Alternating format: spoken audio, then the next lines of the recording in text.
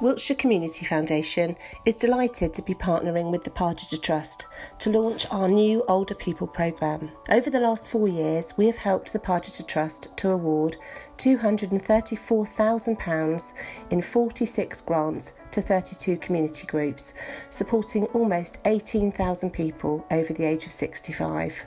Here's some reflections from some of the people we've already supported. We have up to 16 guests we are able to accommodate. There are a lot of activities that go on um, so that we try and encourage the use of their physical and their mental capabilities. The grant that we have been given by the foundation is really a lifesaver. Your grant has enabled us to uh, pay the rent um, on a weekly basis, um, which has then um, given up monies that we can use for outings, for speakers, um, for more equipment, uh, so that it will be used very beneficially for the benefits of the guests that come. They live for it. They really do. They live for the Thursdays because it brings them out into um, a social group. They have social activities.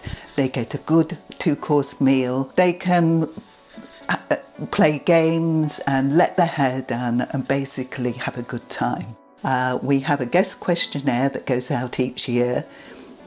Usually it's that they didn't like liver and bacon if there's a complaint, but very rarely are there any complaints about how we run the day centre. What I do appreciate is the fact there is so much humour. Not, not faces which are all grown, but much humour ones and everything else. And if you come down, you can you look forward to it. We serve a two-course meal one day a week on a Wednesday, costs four pounds a week. Um, we do a bingo at 11.30, so they all just come and have a bit, have a bit of fun there. We do a raffle as well, so they all get to join in and bring something in each week as well. Um, we do day trips, maybe twice a year. They also have holidays, mostly Sandbay they go to twice a year as well, which they absolutely love. Well, for a lot of them, it's their social activity, isn't it? They don't really see, some people only come out once a week, so they don't really see, some people don't have family around or even close by, really. So it's nice to get to come out and chat to their friends. Some of them even just go out socially into town as well sometimes, so just depends really. But yeah, they, they enjoy getting out and having a chat and just being out and about, really, rather than stuck in the same four walls all the time. I like coming to the luncheon club because I've got quite a lot of friends here. They're very sociable. I like running the bingo because I run bingo at other places. And we have a laugh, we have outings, and I really enjoy the company of everyone around me. I'm a, I'm a widower, so I live on my own. Uh, so uh, that means that uh, uh I live on microwave meals, you know.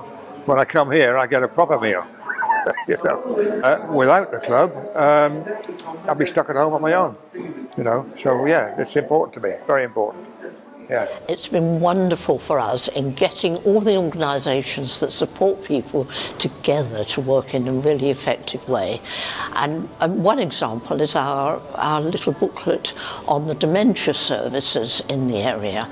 There's lots of them and people don't know about them. And of course, people with dementia and, and the people who are looking after them really are not necessarily going to go onto the web and look for them. We began with a scheme called Safe Places, which is a national scheme which was introduced into Wiltshire.